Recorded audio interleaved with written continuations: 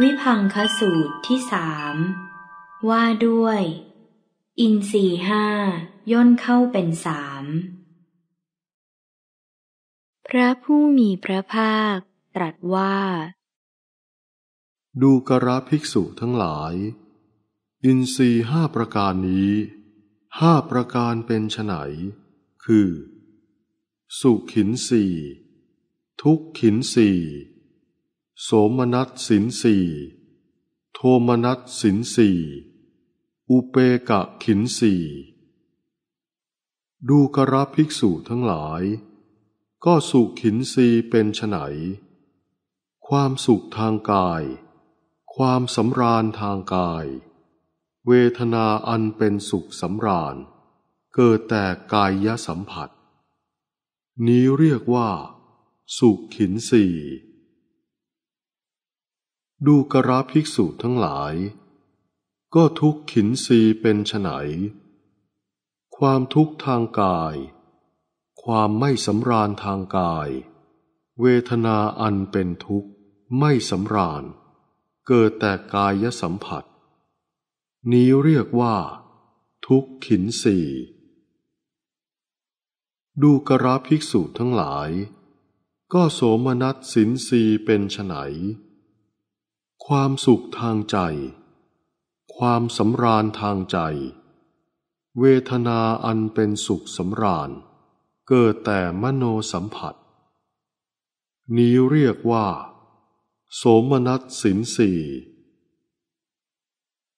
ดูกระภิกษุทั้งหลาย ก็โทมนัสสินสีเป็นไฉนความทุกข์ทางใจ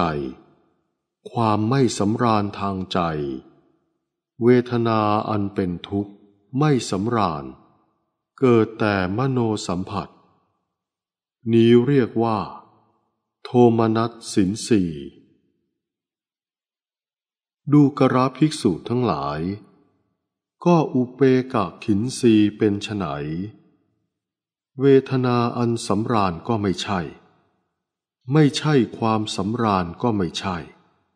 ทางกายหรือทางใจ นี้เรียกว่า อุเปกะขินสี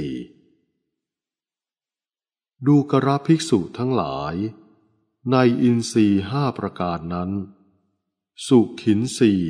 และโสมนัสสินสีพึงเห็นว่า เป็นสุขเวทนา ในอินทรีห้าประการนั้น ทุกขินสีและโทมนัสสินสีพึงเห็นว่า เป็นทุกขเวทนา ในอินทรีห้าประการนั้น อุเปกาขินสีพึงเห็นว่า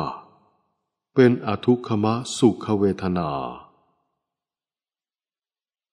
อินทรีมีห้าประการนี้ เป็นห้าแล้วย่นเข้าเป็นสามเป็นสามแล้วขยายออกเป็นห้าก็ได้ โดยปริยาย ด้วยประการดังนี้แหลจบ วิพังคสูตรที่สาม